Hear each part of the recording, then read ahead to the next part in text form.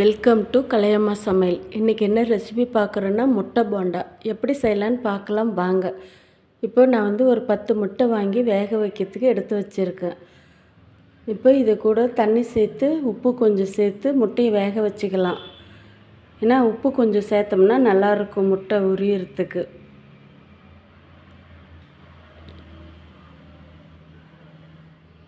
இப்போ அரிசி மாவு ஒரு நூறு கிராம் கடல மாவு ஒரு அரை கிலோ இல்லை ஜல்லடை பிடிச்சி எடுத்துக்கலாம்.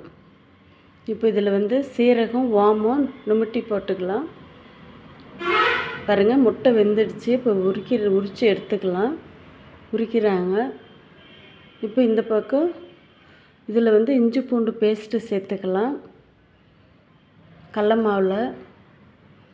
அப்புறம் ஒரு கரம் மசாலா பொடி வந்து ஒரு அரை ஒரு ஸ்பூன் இல்லை அரை ஸ்பூன் போட்டுக்கோங்க. உங்களுக்கு வேணும்னா சேர்த்துக்கோங்க இல்லைன்னா வேணாம்.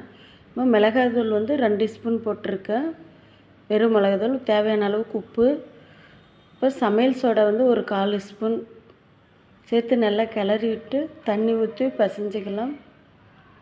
ரொம்ப கெட்டியாகவும் வேணாம் ரொம்ப தண்ணியாகவும் வேணாம். பாருங்கள் இந்த பதத்துக்கு இருக்கணும்.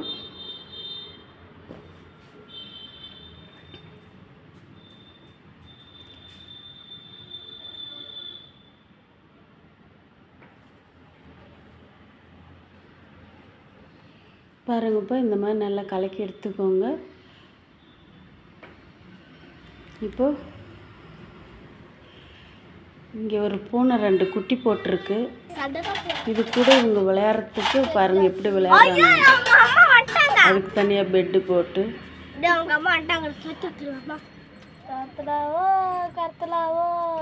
முட்டை வேக வச்சு இப்போ இதை ரெண்டு ரெண்டாக கட் பண்ணி எடுத்துக்கலாம்.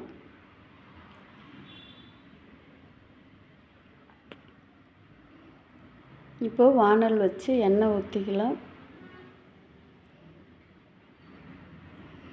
எண்ணெய் காயட்டும்.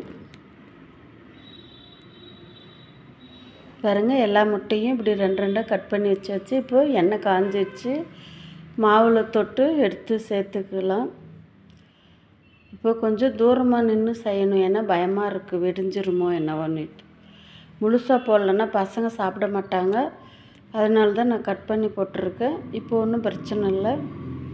பாருங்கள் நல்ல கலர் வந்துடுச்சு.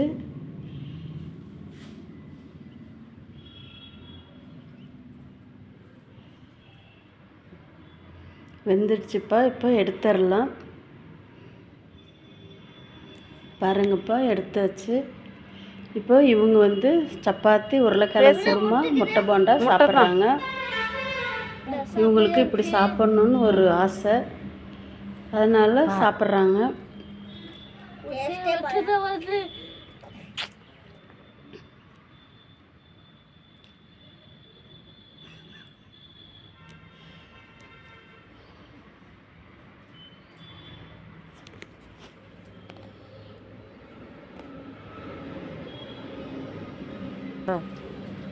அவளுக்கு சப்ஸ்கிரைப் பண்ணுங்க பண்ணுங்க.